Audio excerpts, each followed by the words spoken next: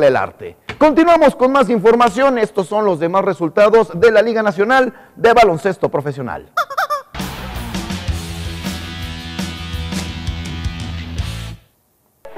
Ahí está, el equipo de capitanes contra huracanes. Mire, le platicaba, esto es lo gacho.